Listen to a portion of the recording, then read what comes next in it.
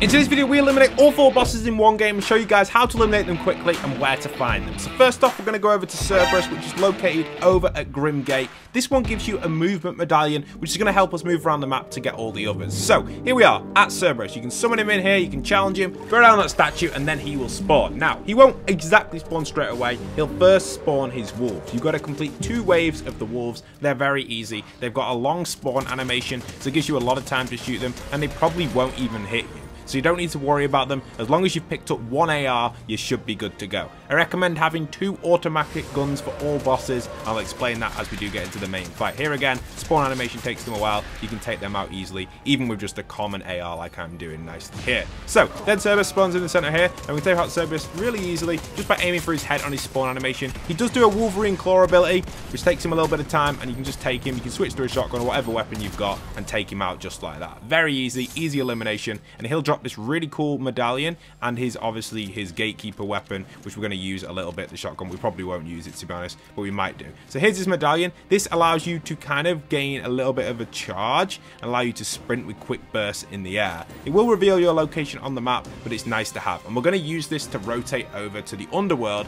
That's where the Hades boss spawns so we can summon him in there and challenge him. Now each boss fight's a little bit different so I'll give you guys the best tips that's probably the easiest one, I think, just because the wolves are so easy. And he does that spin ability in the air, which really slows him down. And he just doesn't always hit with it if you're at range. So if you've got ranged weapons, you can take out Cerberus really easy. So Cerberus is dead easy. So anyway, let's move away from here and head over to Hades, because Hades is going to be over at the main location, the Underworld, the brand new POI, as well as Grimgate. They're all brand new POIs. But yeah, Hades is over there. Let's go and check him out, and we will move over there. So I'll speed it up while we run over.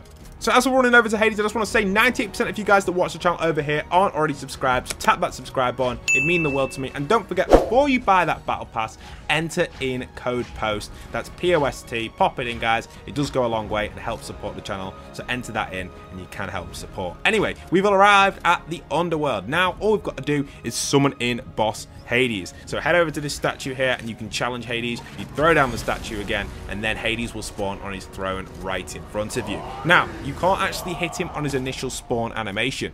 You can see he's quite hard to hit. You've got, again, to clear his NPCs, the minions. They're easy again. They're a little bit more difficult than the wolves because they can hit you, but staying still is an advised technique, or take cover behind something and just take them out with ranged weapons. They've got less than 150 HP, so a few shots and they get taken down most of the time. Now, some of them will have a little bit more HP if they are connected to Hades, like this one here. You can see it was connected to him, and it did do a little bit of damage to him. You can see his health bar has gone down a little bit by being connected. The other ones that aren't connected aren't as strong. So that's easy. Again, I stand behind this box and you can shoot him on his spawn animation. He has really low health, Hades. He only has six bars in total. So two machine guns should be able to finish him off. If you've got better accuracy than me, which probably 90% of you guys do, you're going to be able to finish him. So we take him out nicely, and now we get his mythic, which is here, which is going to be Hades, I believe, SMG, and then this new one here, which actually grants you Siphon on elimination. Anyway, we're going to speed it up and head over because it's a long distance to travel. But while we're traveling over here, I just want to mention, if you guys haven't already played Toy Box,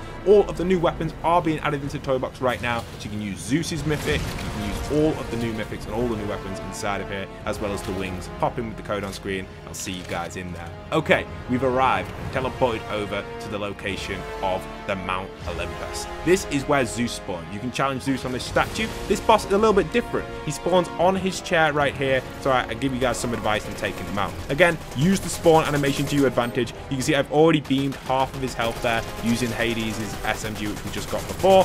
I've almost eliminated well, technically not yet because I take him out, switch to the other one, easier to switch than reload. It gets him half down on his health. Now he spawns his minions, similar to Hades, but kind of like reverse. So you got to take out his minions now to actually damage Zeus again.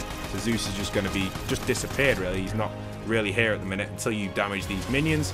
Once you take these minions out, Zeus will eventually reappear. You can see his bars at the top when he's going to reappear. Well, he's still there. He's just like crouched down in his crouch form.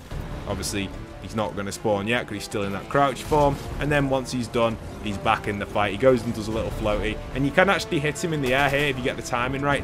Now, after he does that, you can get a little bit of shots off. But unfortunately, my aim here, his head's just not popping up. So his head doesn't pop up and the auto aim keeps me on like a bad spot. So I didn't do too much damage to him. I could have done a lot more there. And when he does that lightning hit, it can do a bit of damage. You can just move out of the way. It's not really the end of the world. Again, standing still, bosses can't hit you. Obviously, this is going to hit me, this lightning, so I'm just going to move over here, but it's not going to really hit me. Oh, it did actually hit me, but it's okay. We took him out really easy. Again, using the automatic weapons recommended. This time, you get Zeus's uh, Uh, marksman rifle. You also get the medallion as well, and you get Zeus's thunderbolts as well, thunderbolts of Zeus. You can check out the medallion. What does this one do? Let's have a read of it, see what it does. So it's going to give you run faster and allow you to jump higher while sprinting. It will reveal your location on the map, so it's like Zeus's speed. Really cool. So we've now got three medallions. Unfortunately, I can't open my inventory and show you guys, but you can see I'm still doing the dash from Hades. We've also got Zeus's one, which is like using a chili pepper. You can see we're moving a lot faster, using Hades' dash, and unfortunately,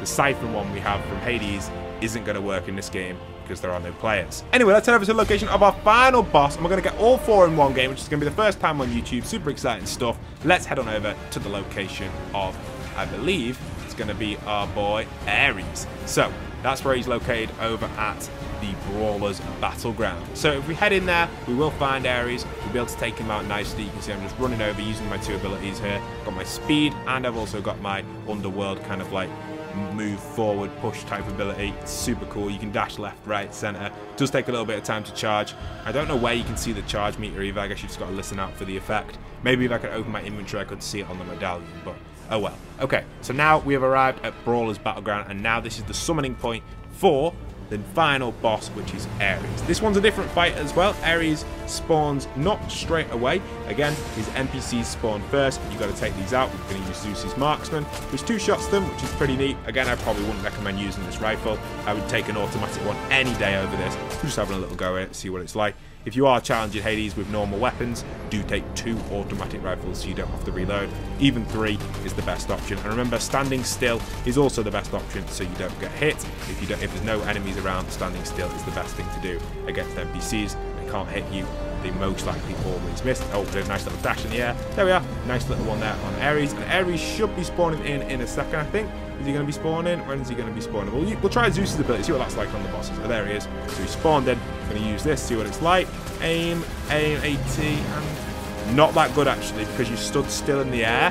The NPCs do hit you when you're there in the air, so that's not that good. I wouldn't recommend using Zeus's Lightning on other bosses.